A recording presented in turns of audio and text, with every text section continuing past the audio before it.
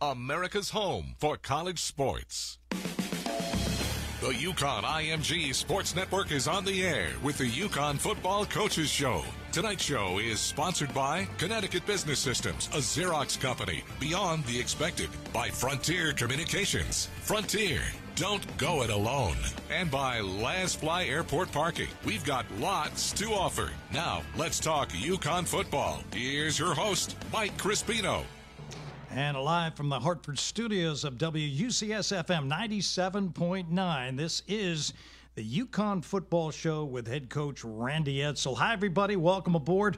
Mike Crispino with you. Coach and I will be spending the next hour. We'll have a couple of special guests with us over the course of that time to talk about UConn football, which just began its 120th season this past Thursday night at home against Central Florida. And, coach, for the folks who were not in the stadium and who were not listening to us, let's catch up on what happened there because you've had a chance now to look at what happened aside from the sidelines. How much different does it look on tape when you get there and you sit down and you look at a football game after you coached a football game?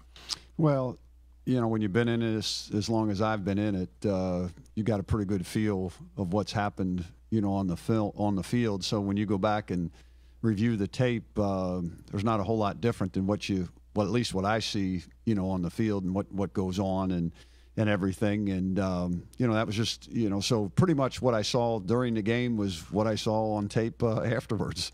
And that was a lot of inexperience and some turnovers. And you mentioned it to us on the post game, shooting yourselves in the foot. Now you're not the only coach that's used that line. A lot of guys use it uh, uh every week. Uh, how do you eliminate that? I mean, turnovers sometimes just happen. Sometimes it's careless. Sometimes it's the defense. Well, when you look at the three turnovers that we had, uh, two of them were situations where we had a young man who go went into the line of scrimmage and did have two hands on the ball, but kind of got his body turned around, but still didn't have the ball secured uh, tightly enough, and um, you know they knocked it out.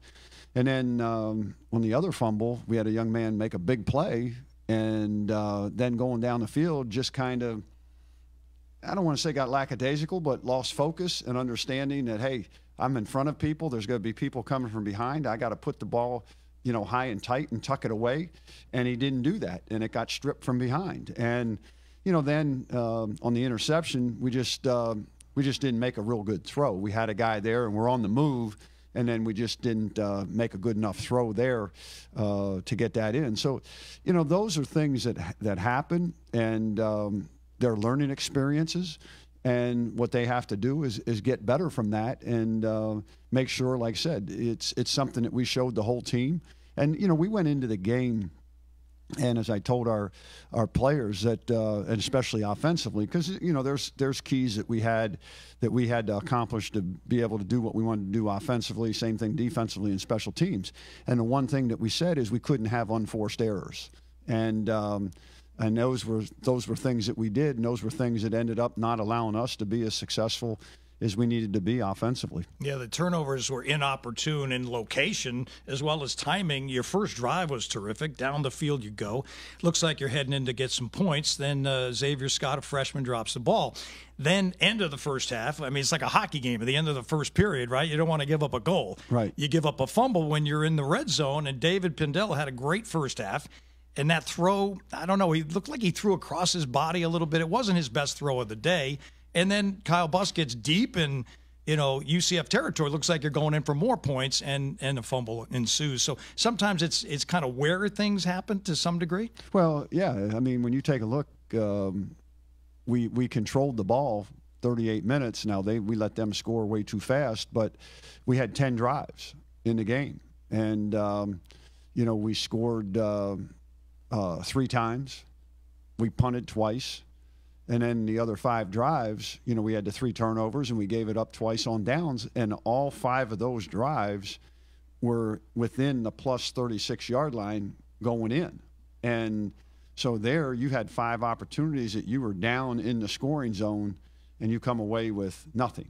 And when you're playing a top 20 team, a 25 team like UCF, you can't afford to give up those opportunities and not capitalize when you have that opportunity. Yeah, David Pindell had a terrific game. A lot of folks who came to the football game said, "Wow." what a difference from last year. And I saw a little bit, a little bit of it in August, watching some of your scrimmages uh, at Storrs. He looks like a more confident guy. He looks like a guy that knows what he's doing, what he wants to do. His timing looks better to me. Yeah, he, he's more comfortable this year. There's no question about that. I think John Dunn has done an outstanding job, you know, with David and getting him to understand things in terms of um, what we want to do offensively and – also, um, you know, this what we're running is very similar to some of the things that he did when he was in junior college, and just in terms of the reads and and um, so again, you know, he did a really good job. I thought that uh, there were times that he did a really good job of. Uh, the, pocket was breaking down a little bit, and he saw the seam, and he got out and ran, and and and and for us, we're going to have to do that. I mean, um, we have we have guys that uh, you know, maybe don't have the great speed. So David becomes one of our better playmakers. And so what we have to do is we have to utilize his abilities to help us uh, be able to score points. And when the quarterback runs the ball, like they do in college quite a bit, you know, the fans sit there and they say, "Whoa, wait a minute, let's not get this guy hurt." And you were talking about it uh, today in, in, the media sessions up in Storrs that you know, it wasn't all planned. Some of it is the quarterback's option. If he doesn't see what he wants to see in the passing game, he takes off and runs. So, uh, how do you view that? I don't know. I know you don't want David Pindell running the ball what 22 times a game, but I, I got to believe you liked what he did. He ran for 157 yards. Yeah. Well, I mean, it, when you have that ability and and you're a guy that's you know on the team that can make plays and take advantage of his skill set, and that's uh, that's coaching. And you know, there's there's some that are designed runs. There's some that are uh, uh, run pass options, uh, and then there are some where he makes something happen because of um, something broke down. And uh, you want to be able you want to be able to have a quarterback uh, that can do those sort of things because everything is not always going to be uh, clean and perfect. And when it isn't, and you have a young man who's got that kind of ability, it puts a little bit more pressure on the defense as well. Yeah, it certainly does. Football's not a perfect game. No, not Am I from, right in from saying any that? from any uh, stretch of the imagination. There's 22 players out there. Anything can happen. All right, we'll be right back. We've got the coach Randy Edsall with us. This is the UConn Football Show on the UConn IMG Sports Network. I'm here with Jonathan.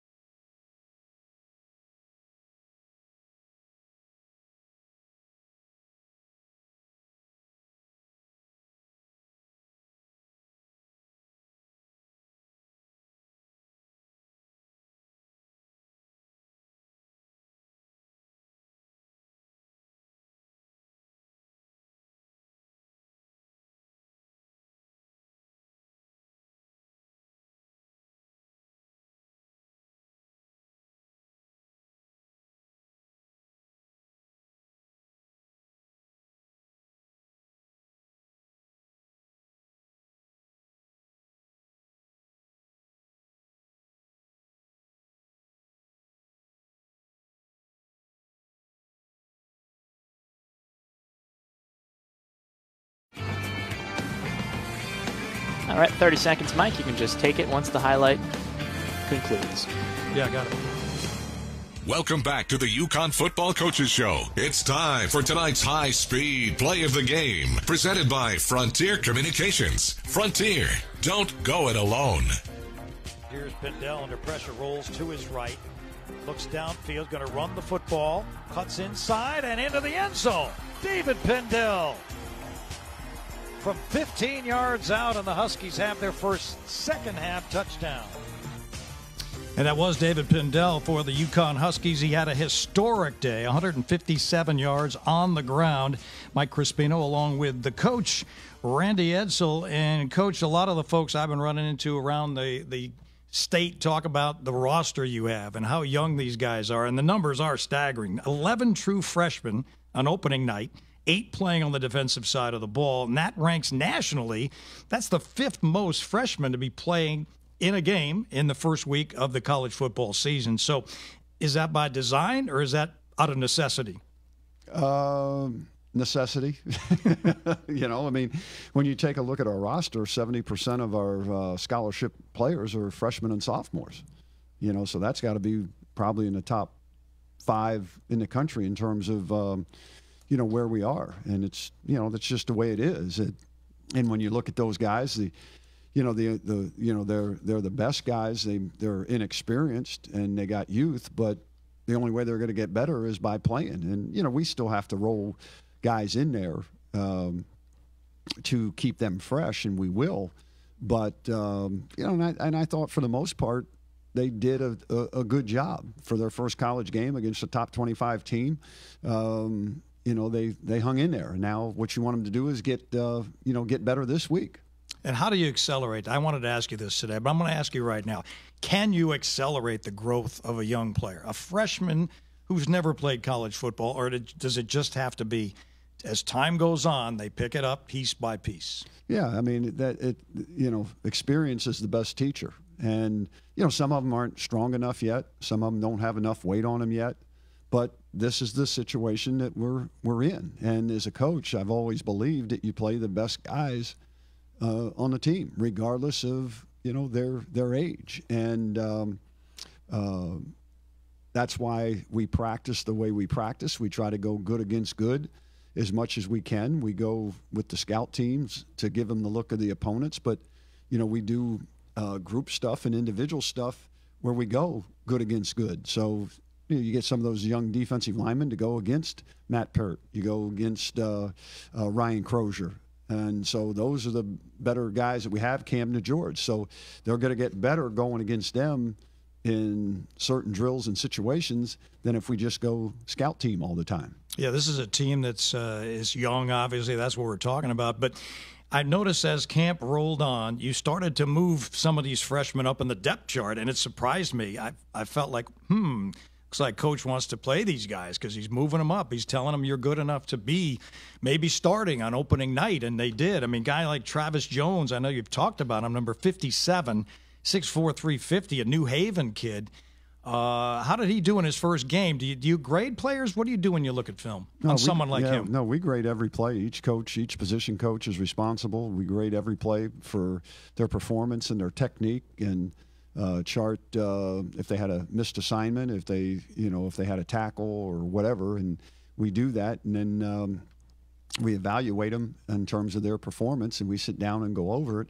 And you know, one of the things is I was probably going to start those guys last week, but then I just felt that the uh, stage might have been a little bit too big for them. So we ended up uh, starting some other people, but now that they have a game under their belt, and they got it. Fi- you know, they don't have it figured out yet. They won't by the end of the year either. But um, they have that game under their belt. Now they at least know what to expect, and now you put them in those starting roles. Yeah, Kevon Jones, another guy, four, number 48. He's a linebacker. He's a freshman, all state kid from Connecticut and East Hartford. Uh, when you are playing freshmen, what are, are you looking for at the end of the day, at the end of a game? What do you say to yourself? About well so and so i think he's going to be good or he did some good things how do you grade people like that well you, you look at productivity and you know one of the things is you, and when you watch practice i mean you saw uh, kk who would be able to do some things that the other guys couldn't do i mean if you take a look when he went in, did he make mistakes? Yeah, he made he made quite a few mistakes, but he also made a lot of plays too. He made plays that some other guys might not be able to make, and you see him go up and take a guy on and shed to get hit and shed. You know that's something that uh, you know was was pretty impressive. Same thing with Travis. You know, one of the things with Travis, we got to get him to be quicker off the ball. You know, he's not as quick off the ball as we want him to. You know, and his and as and as he gets the technique down and everything else, he's going to be a force to be able to be blocked, you know, up front there. And, uh, you know, the same thing with Jonathan Pace and Lawal and, you know, Caleb Thomas, who was a redshirt freshman who played for the first time. So, yeah, when you're, when you're playing four true freshmen, basically, well, three true freshmen and one redshirt freshman up front, you know, it's not always going to be as pretty as what you would like it to be. But again, they're the best that we have. And, you know, one of the things that I think that they found out was, you know, we try to make practice a lot harder and tougher on them. And then the game, you know, is can be a little bit easier for him because you're getting more breaks and everything else because of the TV timeouts and, and all those sort of things. But, you know, for the most part, I, I thought those guys, they tried. And that's what you're looking for. Who are those guys that are out there giving you everything that they have? And as, and as long as they do that, you know, we'll work with them and get them up to speed on – the fundamentals, the techniques, and uh, rec- trying to recognize things. And, and again, when you look at it, you know, the, these guys are coming from high school. They didn't, they didn't sit down and study film and, and study their opponent and know what they were doing. I mean, th- this is all foreign to them. This is like taking foreign language. And, you know, they're, they're, they're, and we only get so much time with them. And so they have to do a good job on their own. And this is where we talk to them all the time as freshmen. You got to understand, you, you can't have a social life during the football season. you know, you really can't. True. You can't because you know you got God or your faith is number one, your family, and then it's academics, football, and then and if you start putting social ahead of any of those things, you're not going to be very good in any of those. And so they, especially you know, with what they have to do. And that's something that's a learning process for them that they have to go through. And some of them are going to have to, some of them learn the hard way, some of them learn it quicker than others. Yeah, let, us talk about the psychology of coaching because you said something earlier today up at, up at Storrs about young players trying to figure out what needs to be done. And you said, I got to get guys comfortable by being uncomfortable. And I still didn't quite understand it. I, I also failed the missing player test that you gave. So I have to go to detention on that. Someone wasn't at practice. You brought it up. You asked the question, who wasn't at practice today? And none of us knew. Uh, it was number 92 who had to go to class. Guy trying to graduate. Give him credit for that. So he wasn't there. But anyway, you said that. Coaches, you know, you, you try to get comfortable, get a player comfortable by making him uncomfortable. Give me some more on that. What What is that? Well, in this day and age with young people, you know, when I grew up, you didn't have cell phones. And you really, up until maybe five years ago, now all these kids, they have cell phones, but all these kids nowadays are growing up with cell phones. Okay? So they never are put into a position, in my mind, that they're uncomfortable because they can hide behind things, they can text people. They can, um, when they go to talk to, and this was the, one of the things that I said, I can just remember in high school, you know, if there, there was a girl you wanted to date and you had to call her on the phone, you know, all of a sudden dad answers the phone. Well, who's calling? and, you know, well, this is Randy. And then, so now all of a sudden, Randy here, who? here, here you might be seventh, eighth, ninth grade, 10th grade. And here you're talking to, you know, the, the, the, the father and so you're you're a little bit uncomfortable doing that maybe. And because now you're talking and he's he's trying to figure you out. You know, okay, do I want this guy really talking to my daughter or you know, those sort of things. And that's what I'm saying. But then you got to get comfortable because you learn how to do that. Kids nowadays don't do that because they hide behind text messaging, they hide behind uh, Instagram, they hide behind all these things. They're never put into uh, un- uncomfortable positions. And so now all of a sudden they come to college and especially being involved with a uh, a football program, and I'm sure it's the same thing in basketball and and all those sort of things too. Now all of a sudden, the demands are a little bit different, okay, and they're not used to that. They're not used to being uncomfortable.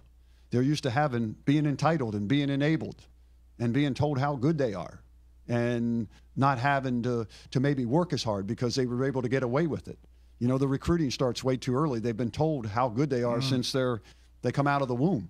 You know, and so that's that's the thing that's that's that's tough, and that's where recruiting is so important and finding those kids that have that chip on their shoulder already.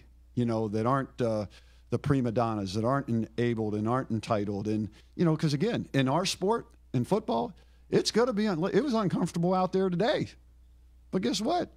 You know, that's, we have to prepare to, to go win a game. And if you can't be uncomfortable but feel comfortable because you know what you're doing and you can go out there and execute, you have no shot to win. Yeah, more on this because I, I, want to go back to another thing you said earlier today about guys being told they made mistakes, how they handle that. Today it's a little different. We're going to get into that with Randy Edsall, the coach at the University of Connecticut. More on the football show with Randy Edsall on the UConn IMG Sports Network.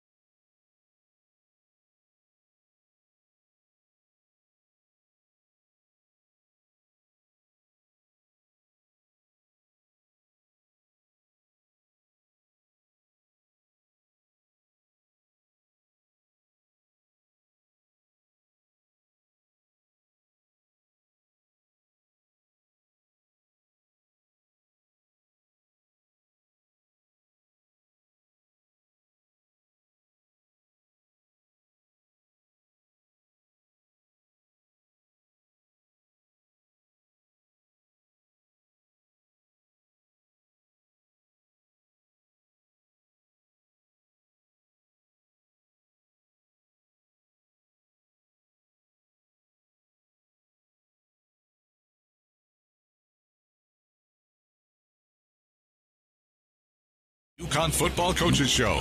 For more Husky football talk, here's your host, Mike Crispino.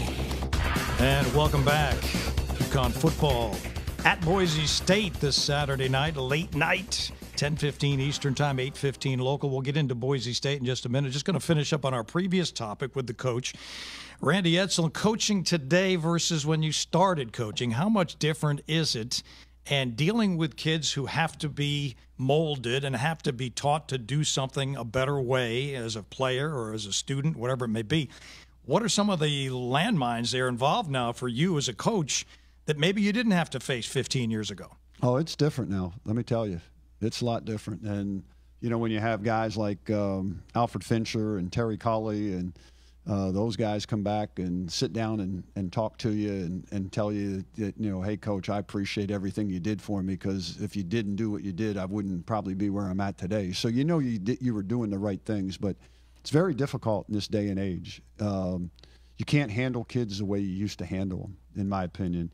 Um, there's, there's other ways that you have to go about doing things uh, with these kids to try to, you know, get them motivated. a lot of kids – you know, a lot of kids nowadays are not as motivated, in my opinion, as they used to be because they've never had to, they've never had to go out and put together games themselves. Everything is parent driven rather than kid driven, you know, and it's um, participation. Everybody gets a trophy, and they've been told how good they are and everything else, and And that's where, when you get your program where you want it, you know, you should bring these kids in, you know, and what they ought to do is make all freshmen ineligible like they used to so they can learn how to do things, you know, the right way. Um, but, uh, you know, it's different. And, you know, some of the things that, you know, now you got 20 hours with them. And when you take a look, I mean, you, you know, you've been to practice. I mean, we, we start practice at 8.30 or whatever, and we're done at 10.30 because that's what the rules tell you, you know, and you have to count – we count weightlifting. Some schools don't count weightlifting. We do. They say it's optional. Well, that's not optional. You know better than that. But and so you don't have as much time maybe with these kids as you used to. So now you have to be very efficient in terms of what you do, and you really have to be very uh, concise in terms of what you're asking them to do because a lot of kids attention spans aren't what they used to because you know all they do is it's the phone the phone is more important to them than other things. It's amazing. They'll come off the practice field. The first thing they do, they go check their phone and see how many messages they have, or how many people liked whatever they tweeted. You know, there's there's so many of those distractions. So, you know, it's the world we live in. You just learn to deal with it and and uh, do the best you can, and and let those kids know that you know if you really want to be good, this is what you have to do. Yeah, great players are self motivated, aren't they? I mean you have this leadership uh, council you put together with 13 players, and you were just talking about the fact that sometimes you need the players to be uh, to really police what's going on on the squad because sometimes your peers are a little more demanding than the coaches can be these days. Well, exactly, and so, that's and that's where you. That's why I don't think you can have like one or two guys just be captains anymore because kids aren't put in leadership roles anymore. They don't, like I said, where do you see guys going out in a neighborhood and having a pickup game? You don't see it.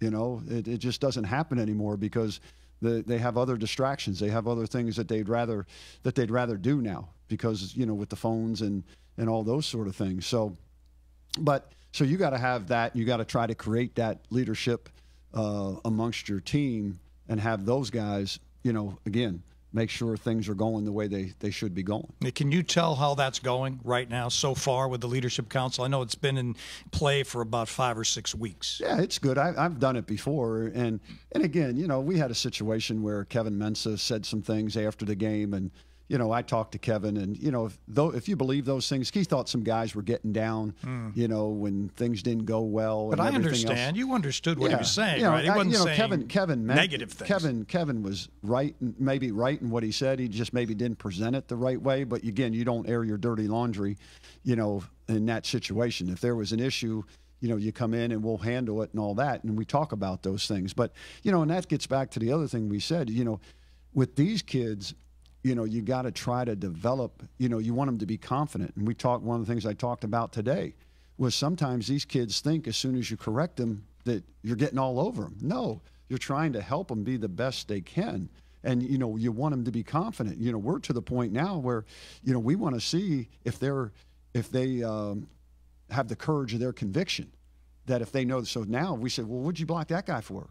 Well, if they can't say, well, coach, that's what I was supposed to do you know, that's what we want them to say, not, well, uh, uh, you know, things like that. You know, that's where the confidence, and with young kids, that's what you have to do is get them to be confident. And hey, if you did it right, say that you did it right. And if you believe in it, say that you you know you did it. That and that's all part of the process that you have to go through when you got a bunch of young guys. Yeah, you also were quoted. I'm quoting you here. Coaches can't be crutches in a game. What do you mean by that? Well, the thing is, is you know, I think what happens is with the young guys, sometimes we as coaches might try to do too much during, you know, like we have meetings with them, then we go out, we have individual, we have walkthroughs, you know, separate periods where we go through things. Well, then when they get to the team, to me, the coaches can't say anything.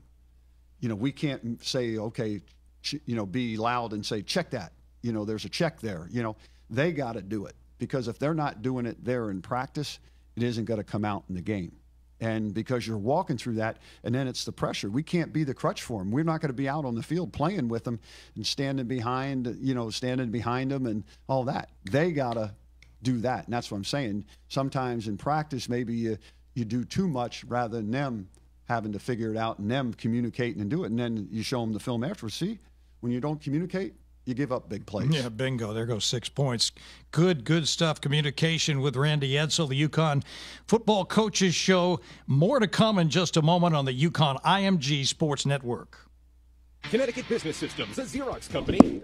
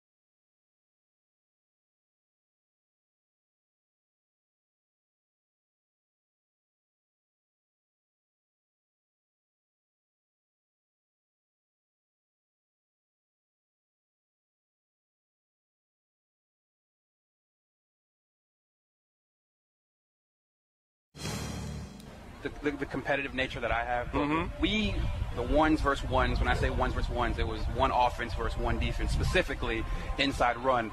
That's when that's when it got real. And yeah. Finch can attest to that. I mean, helmets fly off and. We fit, we fought like we were allowed to physically fight. Like yeah. Randy was like, "Listen, this is where it gets real gloves are off. Mouthpieces and gloves are off. And we would we would smash heads and we would just compete to the point where we would fight. And Randy said, all right, well, after the second whistle, you guys got to stop fighting. Yeah. And so we'd fight, and then the intensity's picked up, and, you know, Finch's like, no, let's do it again. And like true competitors, you want to continue one up in the next person. So it was like, okay, you stop this, let's do it again. You know what, coach, let's go do goal line right now. And Finch is like, let's do goal line. And Dan Orlovsky's talking trash. And Finch is telling Dan, listen, Dan, like, we can't hit you, but TC, we can hit you. I'm like, well, hit me then. then it's, it, it, but then it was, it was that, that bond of like, being in the trenches with, with your with your teammates, competing and want to one up each other. That's Terry Caulley, the former running back for the University of Connecticut. See, coach, the quarterbacks they always instigate, but they don't want to get hit. No, but and I so you, Orlovsky's getting everybody excited. But I tell you what, though, that you sit here and that gives you goosebumps because that's the way it should be, you know. And we've lost that in our society a little bit. And um, you know, hearing those guys, you know, hearing Terry talk about that and everything else, and that's exactly the way it was there was tremendous uh, competitiveness, and guys hated to lose and hated to be one upped, and they weren't going to allow it to happen. And that's and that's what we're trying to get back. Yeah, I think you can do it, no question about it. Here's a guy that was part of all that in the. Uh, 2002, 3, and 4 seasons, part of 23 wins, a captain in the 04 team, the first year in the Big East, the first bowl game, Motor City Bowl. Ryan Krug wore number 73, an offensive lineman from Pine Beach, New Jersey, a Jersey guy with us here on the UConn Football Coaches Show. Ryan, how are you? Good. How we got? How we doing today, guys? Very good. Coach is uh, sitting here and he's reminiscing, and he just had goosebumps thinking about you knocking guys on their backsides in practice. How much of that actually happened, and how much of that was Terry Caulley making it up? I would say that uh, that was a good bit by Terry there. It uh, brings back definitely some uh, some good memories and some great times up there. But uh, you know, kind of like what Coach touched on earlier, you uh, when I was up there, when we were up there, you always wanted to compete, and uh, at, at most, you never wanted to get embarrassed. So uh, you put everything you had into it, and uh, you know even if you did get knocked down, you made sure you're right back up in the first person in line to go again. Because I never wanted to be embarrassed. I think that's where my motivation came from with a lot of stuff we did up there. Well, there's no doubt about that, Ryan. This is Coach. How you doing, bud? Good, Coach. Good to hear from you. Good to see you too. Yeah. So. Um, no, I mean it was. I know you're going to be coming up uh, for the Rhode Island game, and uh, but you know we were talking about things, and you know the the one thing that I always appreciated about you is just how hard you always went, and the leadership that uh, you always displayed, and you had that that toughness about you, and and uh, you know if I know if I needed anything, I could come to you and tell you, and you'd take care of it, and I wouldn't have to worry about it. so yeah, you know it's. Uh, I just, uh, you know, that, you know, like I said, listening to Terry never brings back some good stuff, but I always knew that, uh, you know, I might have not have been the most heavily recruited guy or anything like that, and I kind of got into the game late there in high school, but, um, uh, you know, I, I think I had had more heart than talent, and that probably carried over a, a, a lot onto the field in my demeanor and uh, mannerisms and how I uh, hampered myself and uh, went about things. Ryan Krug with us, number 73, an offensive lineman with the UConn going back. Uh, well, that's that's almost 16 years when he first got there, 2002. And coach, in the break, we were just talking to Randy Edsall, uh, Ryan, about you mouthed off to the coach, and he didn't mind it. He would tell you stuff, and and if you barked back the right thing, he'd be fine with that. Is that was that unusual, or that happened a lot around that Husky team?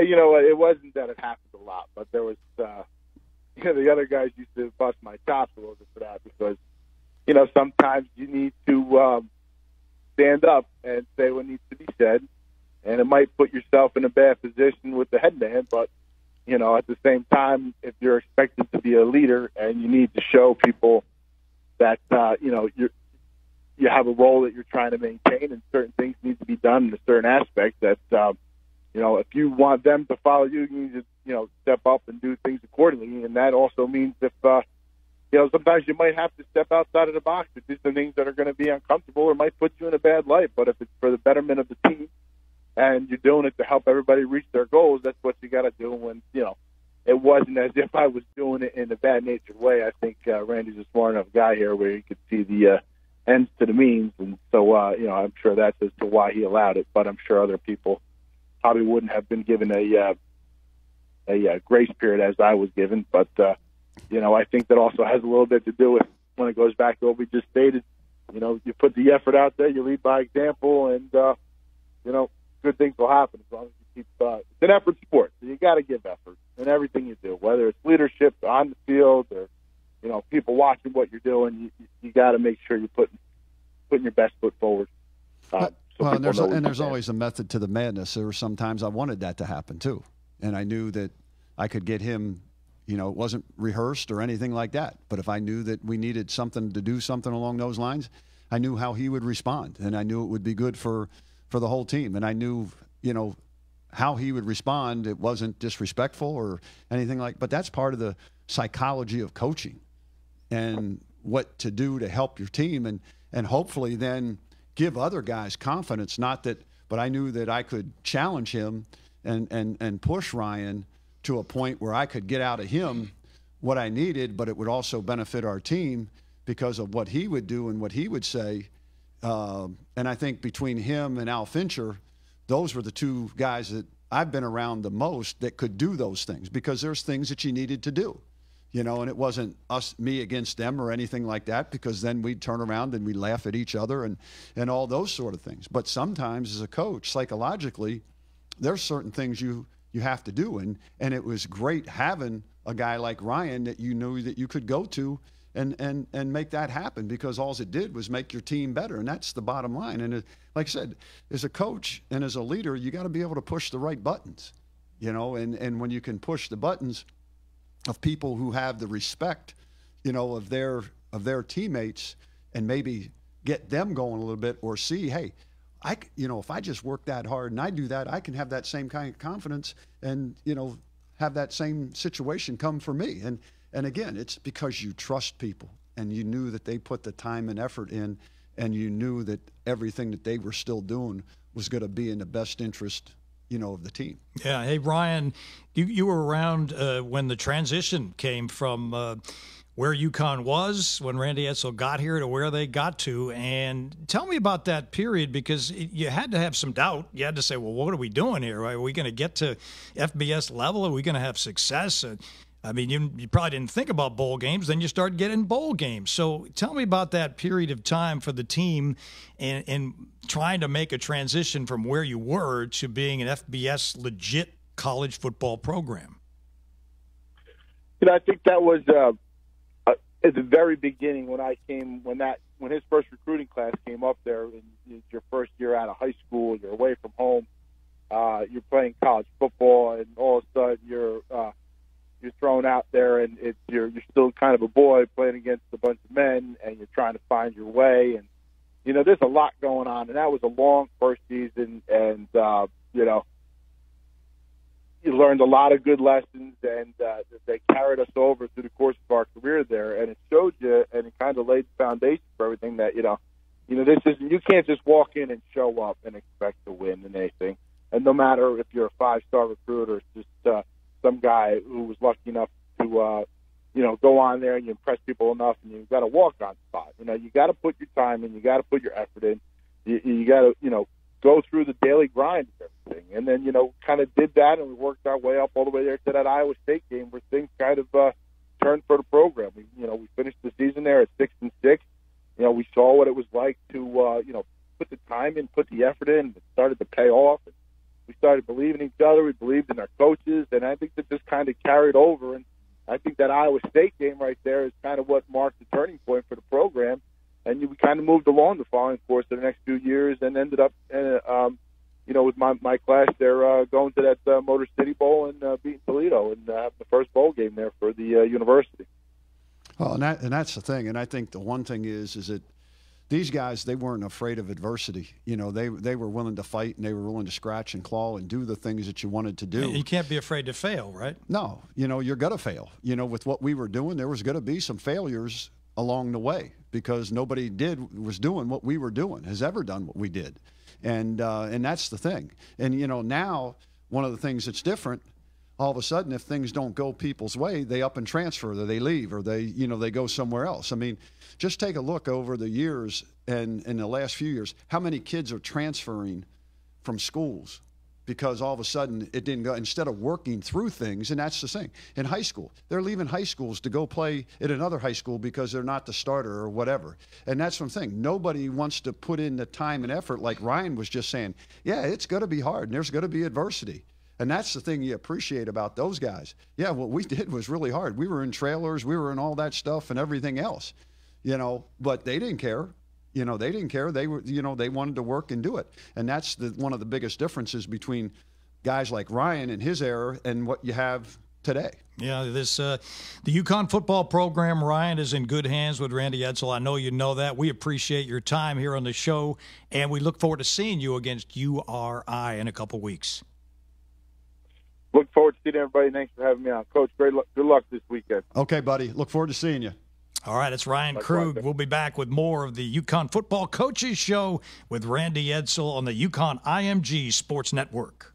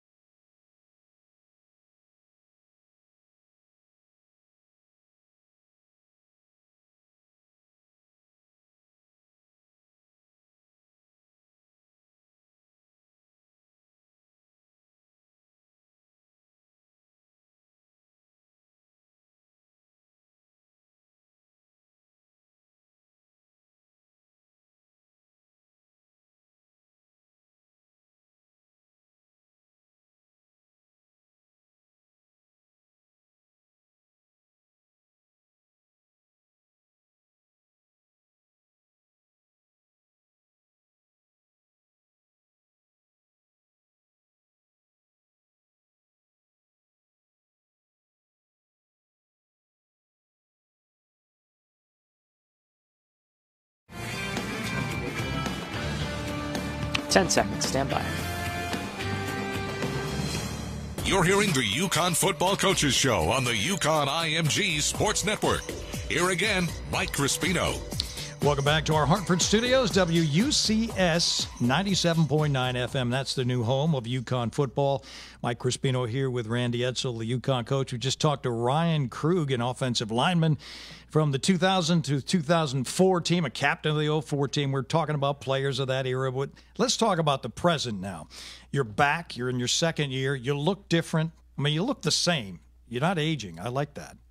But you are different in some way today, example, press conference, you were cracking a couple jokes. You actually got people laughing in there.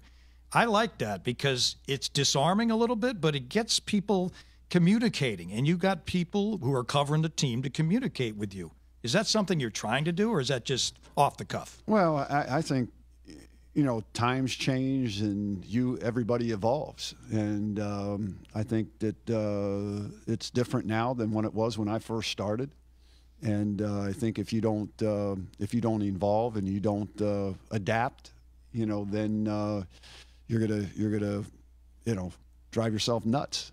And I'm not ready to drive myself nuts, even though maybe even though maybe people think that, that I am nuts. But uh, no. Speaking I mean, of which, how how are you handling the fact you got all these young guys? You know, you give up 56 points week one. You got Boise State, you know, staring you in the face in a road game uh, are you viewing this week to week? Are you looking long term over the 12 games? Let's see where we get to. What's your thought on that? Well, I know what the pl- I, you know I know what the plan is. You know I know the plan that I have, and I know what we have to do. And um, you know this isn't something where um, you can turn a battleship around, you know that easily. And uh, and what we have to do is um, do the things. Ne- I have to continue to do the things necessary to get these guys to understand. And you know, the, then again, as they continue to be in this program, you know, they're gonna they're gonna teach the younger people. You know, we're still teaching people how to do things the way we need them done. And again, we don't have a big senior class. You know, we don't have guys that have been in the program. Guys have been in the program for one year, and um, you know, so again, we have to do all those things. But again, with doing that, you know, we have to understand that you know, as I told him, it's 12 one game seasons, you know, so we're going to do everything we can to win the game this weekend and put the guys out there that can give us that opportunity. And then when this game's over, we look at the next one, we go from there. And, you know, at the end of the season, we'll see where we're at. And, um, you know, it, in a way, it's good that we're getting uh, to go against these, these quality teams this early because I think that'll benefit us as we still go, as long as – the young men learn their lessons each and every week, and then they go and they look at it and study it and know that hey, we got to get better at this the following week. Yeah, as long as they realize, okay, Boise State's a top 25 team. You follow that with Rhode Island. You can't take them for granted. Obviously, it's a football game. So, young team, you go out west. Let's talk about that psychology. The uh, team never been out 2,500 miles away from UConn to play a football game. So What's the theory? What's the strategy, psychology wise, when you take this team out there? Well, again, we're going to go out to win a football game. That's first and foremost. And, you know, what the thing is, what I want to see is I want to see us not make those same mistakes that we made the previous week. I want to see guys get better, you know, and as long as we can do that, you know, we'll see what the score is at the end of the game. And, um, you know, we're going to go out on Thursday. We're going to leave early to get out there because uh, of two-hour time difference. Um, and then, um, you know, again, sometimes when you go there, it's just, you know, it's can we circle the wagons and be together the whole time because you know we don't have it. It's not a home game. We're that far away from home. Probably not going to have that many fans out there. So now what we have to do is we have to draw upon each other to gain our strength and to gain our uh, passion and enthusiasm to stay, you know, out there in uh, in the, the moment and not get distracted by anything other than giving our best each and every play. Yeah, you're a heavy underdog. You're going to try to circle the wagon somehow, try to stay in it early. You're facing a team that's high octane again. So, what is different about Boise State than what you saw with Central Florida? They both throw the ball around and they both score a lot of points. Yeah, the, uh, Brett Rypien is really good. I mean, he's he's probably more of your classic drop back quarterback. We might be seeing two two of the best quarterbacks in the country, two of the top five or whatever quarterbacks in the country in the first two weeks of the season. Um, but he he's very accurate. You know, been very very impressed with his accuracy. They do a really good job. They give you a bunch of different personnel looks and uh, offensively, and they they know what they want to do, and they've had that system in place. And, you know, the thing that's impressive, you know, they've had a thousand yard rusher for nine straight years. So it's not just throwing the ball; it's running the ball as well. Mm-hmm. And then defensively, they have a really good scheme. Uh, you know, they they they do a lot of really good things. They have guys that really understand the scheme they're in. They do present you with some multiple uh, situations that you have to be uh, uh, ready for, and um, they execute really well. They're very sound, very fundamental. Uh, they run to the ball, so it, it, it's a it's going to be a tremendous challenge, but it's one that I know our guys are looking forward to. Yeah, no question about it. First road game for UConn this year in the football season at Boise State Saturday night, 10:15 Eastern Time on WUCS 97.9 FM. Back with the coach with more on the UConn Football Coaches Show here on the UConn IMG Sports Network.